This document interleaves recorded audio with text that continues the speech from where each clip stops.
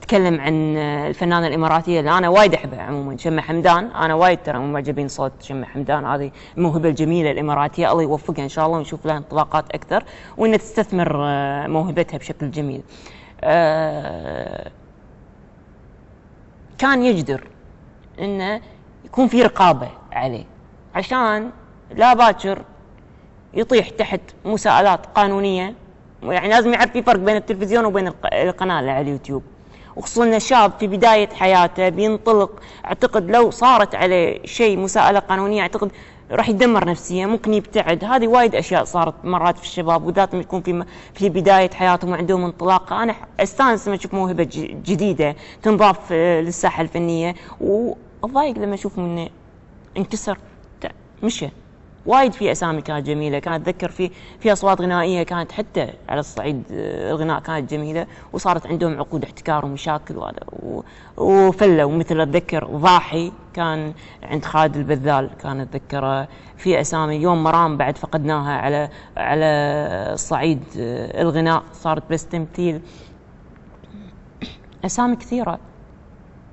فأتمنى انه يراعون لو انه بيسووا له موسم جديد من stand up سيود انه آه لازم لازم يتم توجيهه انه هذه الأشياء خطأ. ما تقال على الهواء. عشان يستمر بموهبته وإن شاء الله نشوفه ليش ما نشوفه؟ معرة إن شاء الله نشوفه على قنوات آه، نفس ال MBC why not ليش لا؟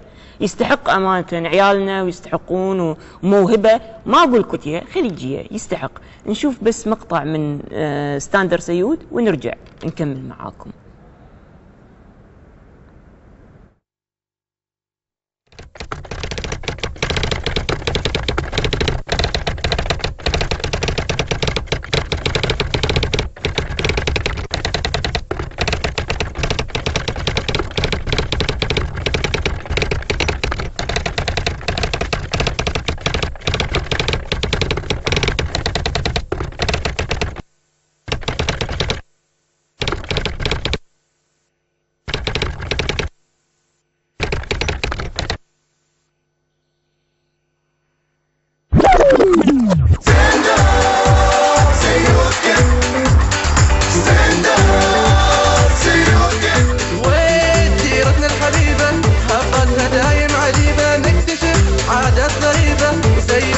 يضغطنا فيها.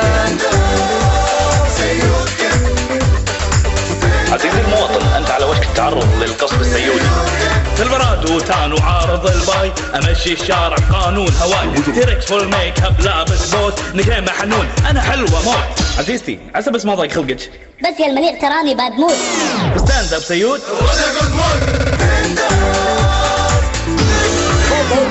ما ذبحتنا أنت عقلي شلشة.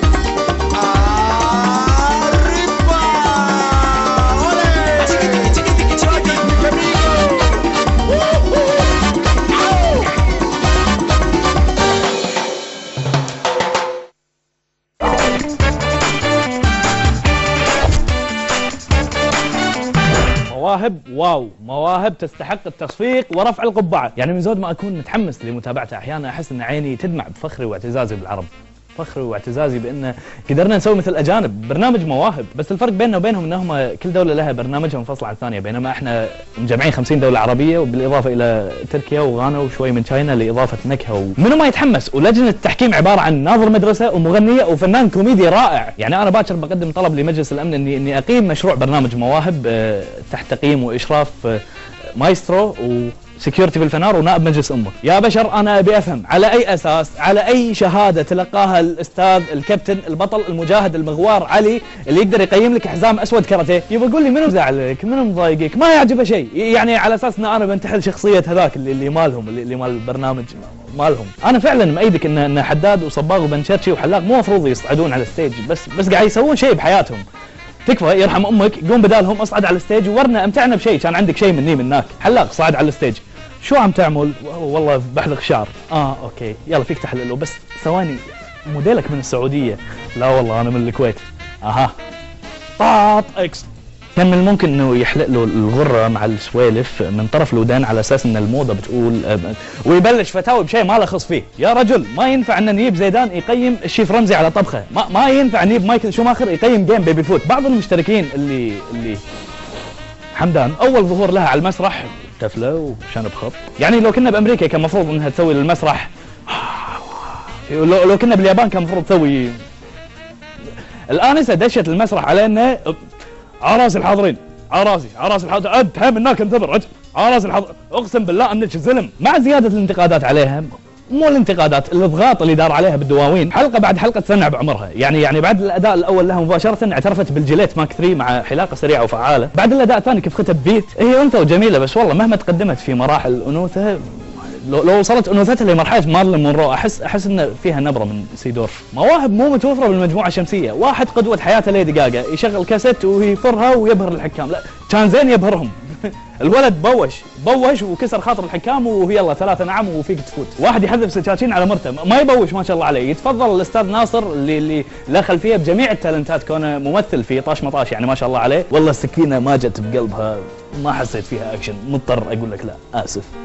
ناصر أنا أحبك. آه طوف. ريال يوقف على إيد واحدة ويطق طار بريلة. ويحصل على ثلاثة لا. والسبب يا أستاذ علي يا يا أخو سمرات يا مخاوي أبو حنان. والله الدف ما كان حال. شفتوا آه، stand up سيود آه، وايد آه، صراحة موهبة عنده طلاقة جميلة سيود. نتمنى ان نشوفه في موسم جديد من البرنامج بس إنه يتم توجيهه بشكل أفضل. يعني شفتوا في ألفاظ يعني يفرها داق الشنب أنت لو مه- مهما تتقدمين في مراحل الأنوثة لا هذا يعني هذا مو شو كذي مو شو. أنا أدري هو شو. يعني الحلقة بسرعة قاعد تمر وايد حلوة بس لازم توجيه ال- الشخص بشكل جيد عشان ما ينتهي. آه هذا من جانب. آه إحنا تعودنا بكل حلقة نحط copy paste يعني عمل فيه أصلي وقلدوه. يوم نتحكى